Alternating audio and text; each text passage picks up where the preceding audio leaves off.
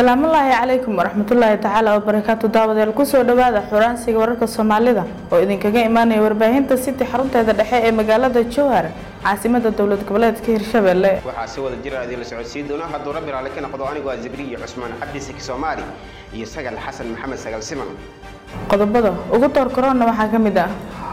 Banaanbax lagu madansanaa maanta inuu ka dhaco magaalada baydhabo oo dib loo dhigay. Booliiska hirshabelle oo amaro dul dhigay saraakiisha ciidanka aabbo soomaaliyeed oo ummadda soomaaliyeed ka dalbaday inay soo caawiyaan. Ra'iisul wasaaraha xukuumadda federaalk ah ee soomaaliya oo sheegay in sharciga la marsiin doono dadkii ka dambeeyey falkii ka dhacay garoonka diyaaradaha ee aadan cadde. Dad badan ayaa kaga maarmay aadidda muqdisho. Waa maxay waxaasay kaga maarmeen inay u aadaan muqdisho? Iyo xildhibaan ka tirsan maamulka puntland oo sheegay inay xaalada adag ka jirto qardho qodobadaasi iyo kuwa kale intaasi ka faahfaahsan ayaad maqli doontaan ee u diyaargaro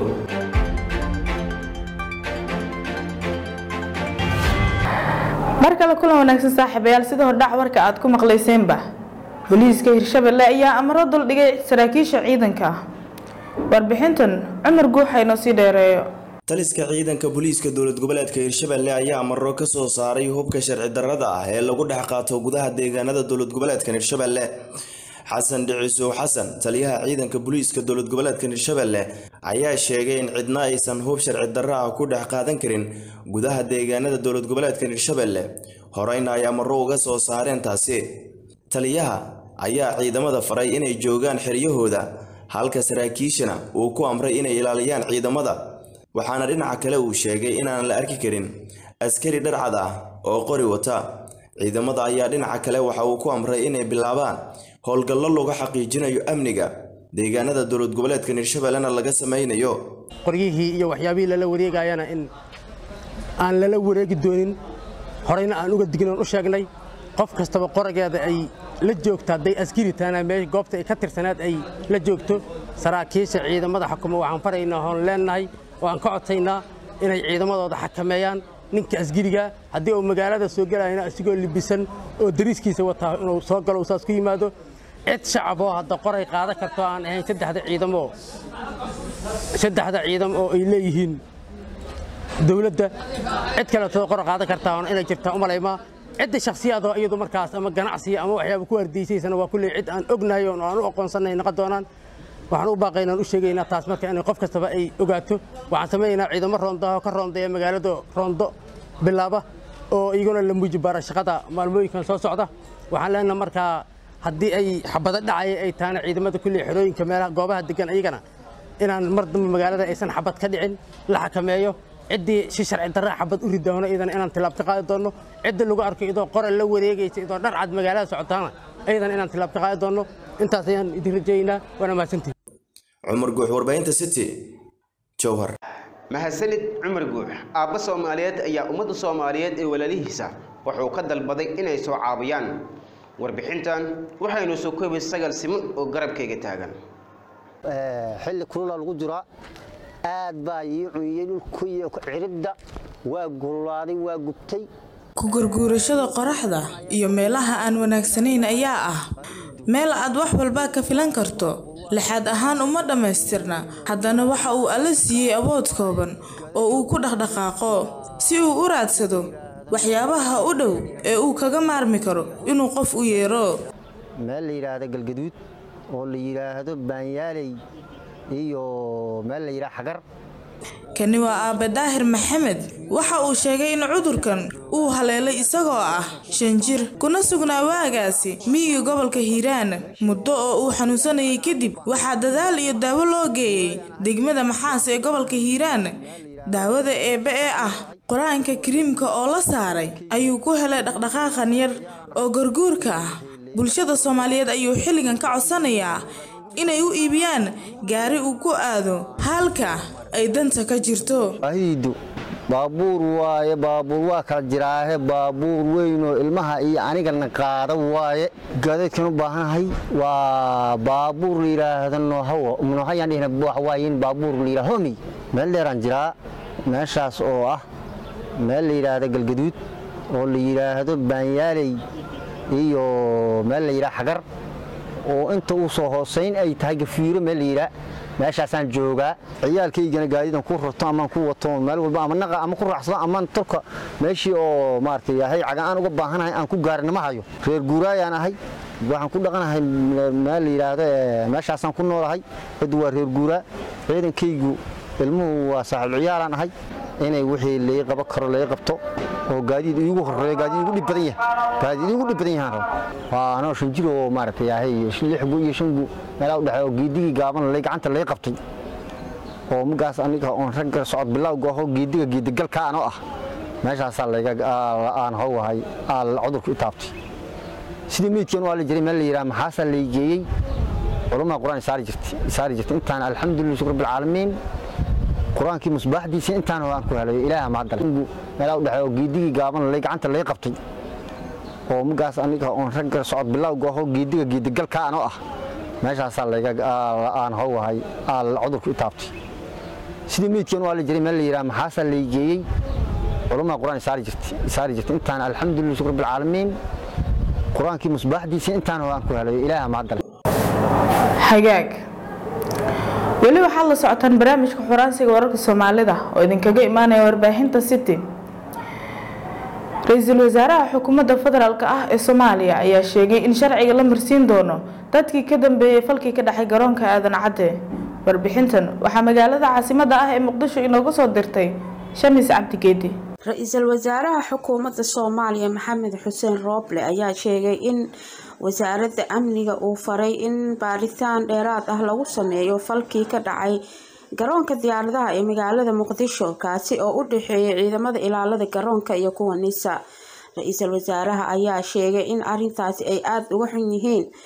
Wasiirka wasaaradda amniga taliyaha booliiska taliyaha waaxda socdaalka iyo taliyaha nabad sugidda ayuu faray in ay jawaab ka keenaan ciddii ay ku cadaatana sharciga la marsiin doono. Waxaan faray wasiirka amniga wasiir xundubey inuu ka qaado tallaabada sharciga ah ee waafaqsan. Sida ugu dhaqsiyaha badan afar iyo labaatanka saac ee soo socdo. Waxaan kaloo faray in ay jawaab nagu soo siiyaan wasiirka amniga taliyaha booliiska taliyaha immigrationka taliyaha nisa wixii meesha ka dhacay cid kastoo falkaas wax ku geysatayna dhammaan sharciga la marsiiyo. Waana fariin aan toos ugu diray wasiirka amniga oo aan ka sugayo jawaabteeda. Shacabka soomaaliyeed waxaan u sheegayaa ka qayb qaata wanaagga dalkiina. Shamis cabdigeedi warbaahinta city muqdisho. Mahadsanid shamis cabdigeedi banaanbax lagu madansanaa maanta inuu ka dhaco magaalada baydhabo ee xarunta gobolka baay ayaa dib loo dhigay. Warbixintan cumar guuxa inoo soo koobo waxaa maanta dib u dhac uu ku yimid banaanbax ballaaran oo toddobaadkii hore culimmada magaalada baydhabo ay ku baaqeen kaasi oo lagu dalban lahaa in la soo dedejiyo kiisaska labadii carruur ee lagu dilay magaalada baydhabo ee xarunta gobolka baay. Qaar ka mid ah culimmada magaalada baydhabo iyo aabbaha dhalay labadan carruur ah ee cadaaladda loo raadinayo ayaa bulshada u sheegay in codsi ka yimid madaxweynaha dowlad goboleedka koonfur galbeed soomaaliya dib loogu dhigay banaanbaxa aabbaha dhalay carruurtan aweys cabdulaahi ibraahim ayaa sheegay in madaxweynaha uu u sheegay in baarista kiisaskan lagu soo kordhiyo khuburo ku xeeldheer baaritaanka waana midda keentay in dib uu u dhaco banaanbaxa.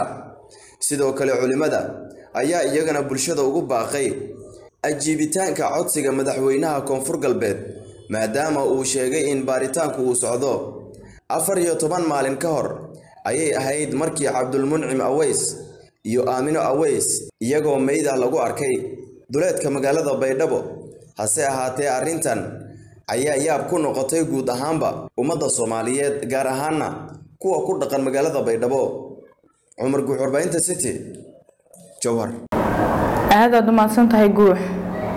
Xildhibaan ka tirsan maamulka puntland ayaa sheegay inay xaalad adag wajahayso qardho warbixintan zikriye cusmaan cabdi oo garabkayga ah xildhibaan axmed daada jaamac diiriye oo ka mid ah xildhibaanada baarlamaanka dowlad goboleedka puntland ayaa sheegay in puntland ay ka jiraan xaalado adag oo covid sagaal iyo toban.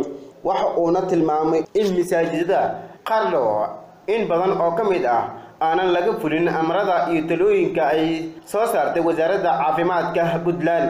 Waxa uuna baaq u diray dadka dhallinyarada ah oo uu sheegay inaysan dareemaynin xanuunka balse looga baahan yahay in ay xanuunka ka ilaaliyaan dadka waaweyn ee u nugul inay u geeriyoodaan.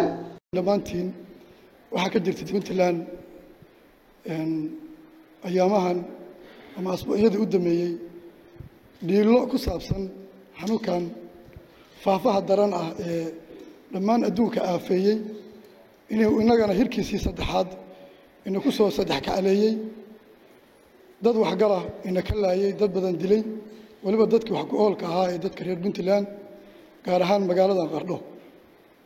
Sidaa daraaddeed waxaanu ahay wafdigu hogaaminaya wasiirka caafimaadka iyo tiim kale oo la socday oo magaalada si deg dega u yimi ilaa iyo doraad ilaa iyo shalayna shaqo badan ka hayey wixii lagu tari karo magaalada oo la keeni karo oo la awoodo oo ay ka mid tahay gaaskiina aanu keennay sidaa daraaddeed muhiimadda ugu weyn oo sidaa wada ogtihinba xanuunkan caalamku sida uu ku xakameeyey waxa weeye in dadku guud ahaan ka qayb qaataan sidii loo xakamayn lahaa loona qaadan lahaa talooyinka caafimaad oo ay kow ka tahay tallaalka in la qaato. Labana ay ka tahay in shuruudaha badan ee isdaba yaallo ay ka mid tahay afxirka iyo kala fogaanshaha iyo kulamada waaweyn in la joojiyo iyo meelaha badan ee dadku ku kulmaan in la hakiyo zaki soomaali warbaahinta city jowhar dad badan ayaa waxay kaga maarmeen aadida muqdisho in ay ka doontaan waxyaabo ka mid ah walxaha loogu talagalay in lagu ciido. Dadka qaarna ay sida caadada u isticmaalaan warbixin umuurahaasi ku saabsan waxaa inoo diyaariyey cumar yuusuf.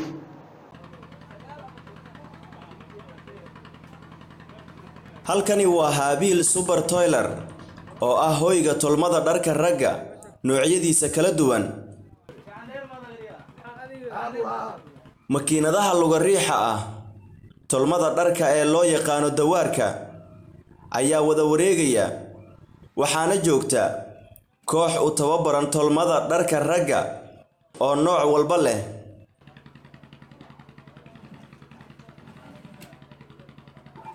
Dadyow badan oo macaamiil u ah oo aan halkan ku aragnay markii aan booqannay innaga oo ah koox ka socota raadiyaha iyo tv-ga city ayaan weydiinay waxa ay u joogaan halkan iyo noocyada dhar ee loo tolo. Waxaan u diyaar garoobeynaa inaan ciidulfitr aan ciidno. Haddeer waxaan joognaa taylarka aadam aadana u naqana anaga. Waxaan rabnaa haddii la yidhaha inaan dhallinyarada aan wax u tolano. Futshaari aan toli rabnaa. Maasha allah anagana waxaan rabnaa dharkii aan ku ciidinay inaan tolano maadaama oo nala fududeeyey oo macnaha inaan banaanka dibadda inaan dharka aan ka gashano waa iska gala weynaani waxaan rabnaa inaan maxaa la jira aan waddankeena dharka tolano gaar aan jawaar nin aadan la yidhaha nagu soo dhaweeyey. Taylarka aadan aan rabnaa inaan ka tolano futshaariyaal aan rabnaa inaan tolano wiilasha dhammeer adeer la cabiraa marka haddii la yidhaha saasaan jecelna insha allah anigana waxaan ka mid ahay macaamiisha hadda ku xiran inay ka tashaan rabaan dharka ciidda. Saas baan rajeynayna insha allah macaamiil fara badan ay ku xiran yihiin waxaa ka tashaa walaahi ayu nooc wax alaala wixii oo dooqeyga wax walbo hadda maalka imaanaya ilaa hadartan dhar baa ka talanaya hilaal taylor. In badan shaati walba oo taylor haysoo qanciyaa midna aan kilo ma laha. Annagoo dhar ciid isdiyaarinayno ciid talina hoyno dhar ciid talina hoyno isku joogyaal. Futishaari shaaryaal ninkay rabo. Nin bal wuxuu rabo tasho hooyo maalmahan waa kala kacsan yahay waa ujeedaan qaar ka mid ah howlwadeennada haabiil suber toiler ayaan qudhooda weydiinay waxa ay qabtaan. Bismillaah anigoo ah axmed maxamed ibraahim oo ah taalawriste habiil international super taylor kuna talo shaarar futishaariyo ay nuuc shaaro caadi shaaro futishaari surwaalo. Waxaan u diyaar garoobeynaa sida aan ugu libis leeyeen carruurta iyo dadka waaweyn.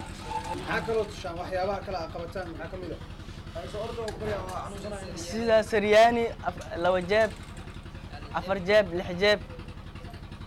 Wixii talaashaa muu? Wixii tushida sheegaya bas inuu diyaar garoobaysa iida iska dhaafka meshiis ayaa leey soco.